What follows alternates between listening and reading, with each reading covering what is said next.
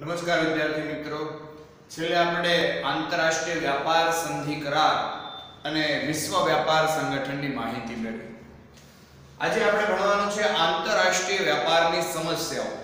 કે જ્યારે વિદેશ વ્યાપાર થાય છે, ત્યારે વિદેશ વ્યાપાર વખતે કઈ કઈ સમસ્યાઓ ઉદ્ભવે કે જ્યારે તમે આંતરરાષ્ટ્રીય વ્યાપાર કરો છો, ત્યારે કઈ કઈ સમસ્યાઓ થાય? તો દરેક દેશ સાથે આપણે વ્યવહાર કરીશું, તો દરેક દેશની સમસ્યા અલગ અલગ હોય એ આપણે એવું કહે છે કે વિશ્વના જુદા જુદા દેશો વચ્ચે થતો વેપાર એટલે આંતરરાષ્ટ્રીય વ્યાપાર કે વિશ્વના જુદા જુદા દેશ વચ્ચે જે વેપાર થાય, એને આપણે કયો વેપાર કહીશું? આંતરરાષ્ટ્રીય વ્યાપાર ઓકે છે, આંતરરાષ્ટ્રીય વ્યાપારમાં જુદા જુદા દેશોના વિવિધ નિયંત્રણો હોય. જ્યારે તમે વિદેશ વ્યાપાર કરો છો, તો વિદેશ વ્યાપારની અંદર દરેક દેશ જે છે, એ દરેક દેશના જુદા જુદા નિયંત્રણો હોય. અને જેને આપણે આંતરરાષ્ટ્રીય વ્યાપારની સમસ્યા તરીકે ઓળખી શકાય છે. પહેલા આપણે વ્યાખ્યા આપી વિદેશ વ્યાપારની કે વિદેશ વ્યાપાર એટલે શું? તો વિશ્વના જુદા જુદા દેશ વચ્ચે જે વ્યાપાર થાય ને શું કહેવાશે? વિદેશ વ્યાપાર. અને વિદેશ વ્યાપારમાં જુદા જુદા દેશોના વિવિધ નિયંત્રણો હોય, જેને આપણે શું કહીશું? વિદેશ વ્યાપારની સમસ્યાઓ તરીકે ઓળખી શકાય. તો એ સમસ્યાઓ કઈ કઈ છે? તો પહેલી કીધું ચલણની સમસ્યા. પહેલી સમસ્યા કઈ કીધું છે? ચલણની સમસ્યા.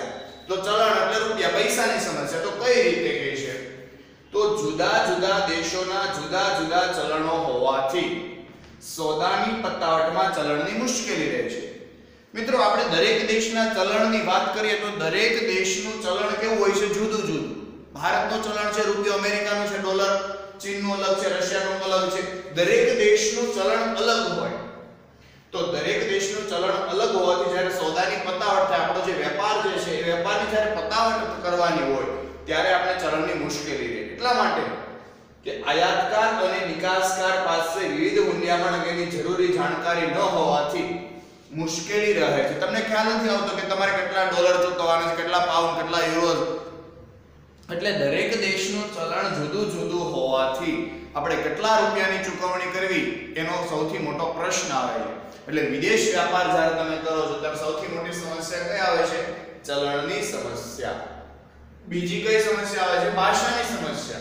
જેમ દરેક દેશનું ચલણ જુદું જુદું છે, એમ દરેક દેશની ભાષા પણ કેવી છે? જુદી જુદી. દરેક દેશનું ચલણ જુદું, એમ દરેક દેશની ભાષા પણ કેવી છે? જુદી જુદી.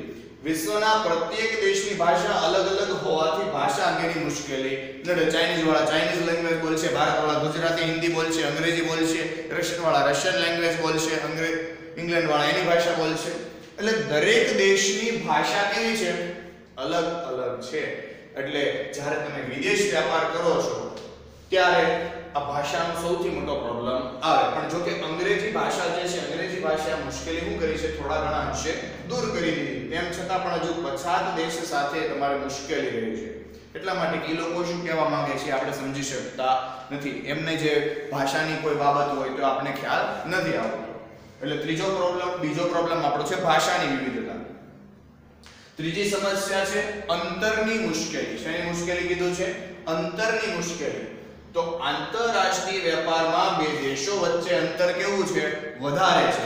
વિદેશ વેપારમાં અંતર કેવું હોય છે? બે દેશ વચ્ચે વધારે હોય છે. તો સંદેશા વ્યવહાર અને માલ સામાનની હેરફેર કરવા માટે સમય કેવો લાગી જાય? વધારે લાગી જાય. ભારતથી અમેરિકા માલ મોકલવાનો, ભારતથી કેનેડા માલ મોકલવાનો હોય, તો સમય વધારે લાગશે. એટલા માટે અંતર કેવું છે? બંને દેશ વચ્ચે વધારે.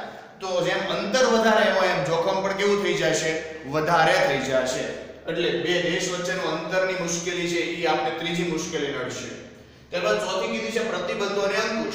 વિદેશ વ્યાપારમાં ચોથી સમસ્યા શું આવશે? પ્રતિબંધો અને અંકુશ.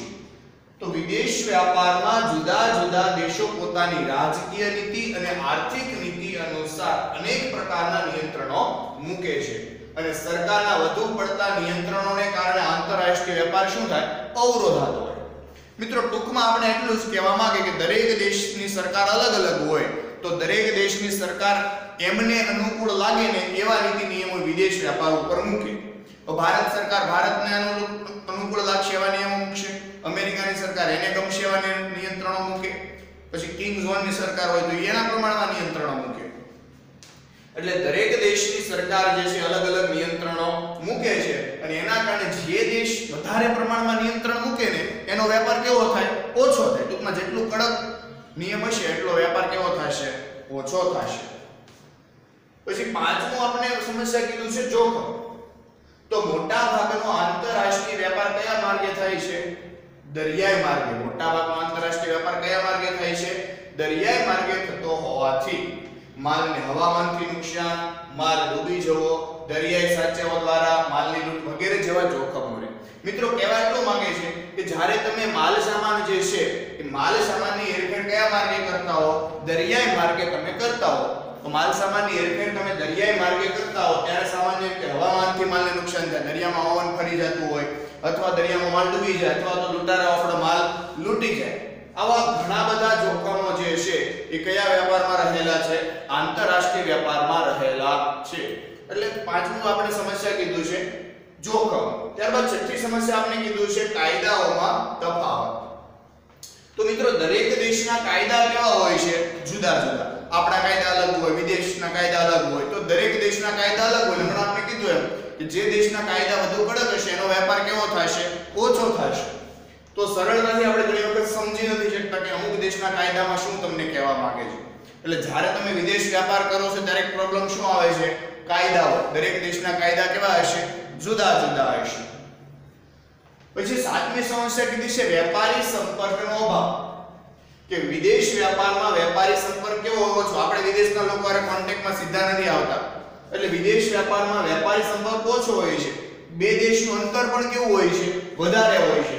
ત્યારે વેપારીઓ એકબીજાથી તદ્દન અજાણો મતલબ એકબીજા વેપારી કોઈને ઓળખતા નથી. આયાતકાર અને નિકાસકાર વેપારી વચ્ચે પરસ્પર સીધો સંપર્ક ન હોવાથી ચૂકવણી અંગે હવે મિત્રો જ્યારે વિદેશ વ્યાપાર કરે છે ત્યારે આયાતકાર અને નિકાસકાર એકબીજાને ઓળખતા નથી. એટલે સૌથી મોટો પ્રોબ્લેમ આવે છે કે ભાઈ એકબીજાને એકબીજા ઉપર વિશ્વાસ નહીં આવે. આયાતકારને એમ થાય, હું માલ મંગાવીશ ને મને પછી પૈસા આપીશ ને માલ નહીં મળે તો નિકાસકારને એમ માલ મોકલીશ ને પૈસા નહીં મળે તો એમ. એટલે બંનેને એકબીજા પર વિશ્વાસ નથી આવતો. ચૂકવણીનો સૌથી મોટો પ્રશ્ન આવે એટલા માટે કે બંને એકબીજાથી કેવા છે? અજાણ છે. વેપારી સંપર્ક એકદમ ઓછો જોવા મળે છે. અને છેલ્લી સમસ્યા કીધું છે આપણને, તોલ માપની સમસ્યા. મિત્રો, દરેક દેશના તોલ માપ કેવા હોય જુદા જુદા. ભારતમાં 1000 ગ્રામ 1 કિલોગ્રામ થતું બીજા દેશમાં 500 ગ્રામ 1 કિલોગ્રામ થતું હોય. અને ભારતમાં થોડી પાછું નવું છે, શેર, એટલે 500 ગ્રામ. તો કહેવાનો મતલબ એવો છે કે દરેક દેશનું તોલ માપ જુદું જુદું હોય, એટલે કયા દેશમાંથી કેટલો માલ મંગાવો? ઘણી વખત આપણે 1000 કિલો મંગાવીએ ના પાંચસો 500 કિલો 500 પાંચ 5000 કિલો આવે. કેમ કે દરેક દેશનું કોલ માપ કેવું છે? જુદું જુદું છે. એટલે મિત્રો, આઠ જેટલી સમસ્યા આપણે જોવા મળે છે. અસ્તુ